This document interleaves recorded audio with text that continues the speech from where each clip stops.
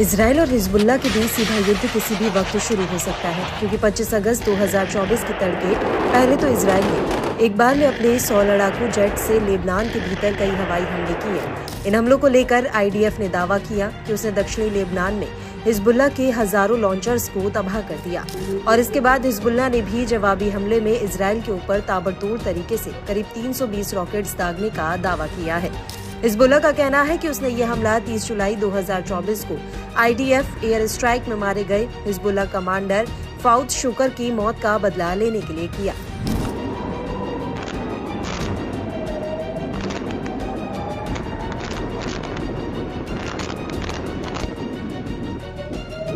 लेकिन अब हिजबुल्ला को हमास का साथ मिल गया है। दरअसल हमास ने हिजबुल्ला के हमले की प्रशंसा की है और कहा है कि यह हमला ताकतवर और केंद्रित जवाब था।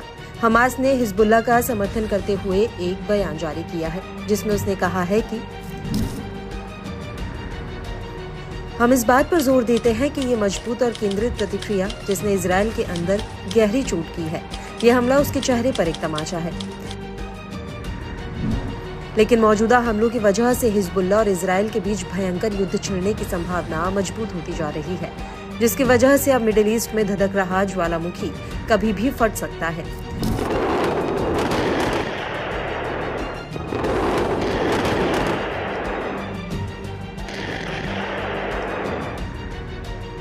लेकिन इन हालातों के बीच मिस्र में गाजा में युद्ध विराम को लेकर एक बहुत बड़ी मीटिंग चल रही है, जिसमें अमेरिका भी लगा हुआ है। इस बातचीत के बीच इसराइल ने हिजबुल्ला पर यह कहते हुए हमला कर दिया कि वो तेल अवीव पर एक बहुत बड़े हमले की तैयारी में लगा हुआ था और इस हमले के बाद से ऐसा डर है कि कहीं गाजा युद्ध विराम की बातचीत पटरी से न उतर जाए।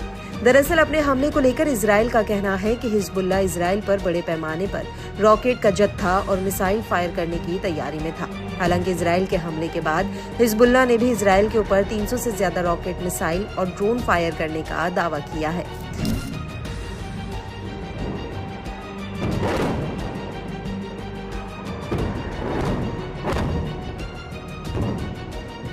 हालाँकि भोर होते होते दोनों पक्षों ने यह दावा ज़रूर किया कि उनके हमले सिर्फ़ मिलिट्री चौकियों पर किए गए थे।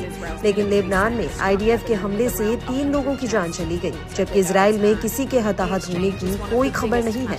हालाँकि इसराइल पीएम बेंजामिन नेतन्याहू ने कैबिनेट को संबोधित करते हुए ये ज़रूर कहा है कि आईडीएफ ने हज़ारों रॉकेट्स को ध्वस्त कर दिया है, जिन्हें उत्तरी इसराइल पर दागा जाना था।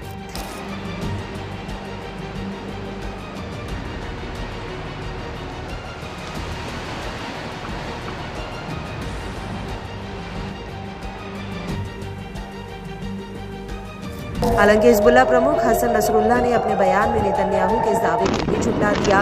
हिजबुल्ला का कहना है कि इसराइली सरकार अपनी जनता को बेवकूफ़ बना रही है। हिजबुल्ला के हमलों पर नेतन्याहू और आईडीएफ झूठ पर झूठ बोल रही है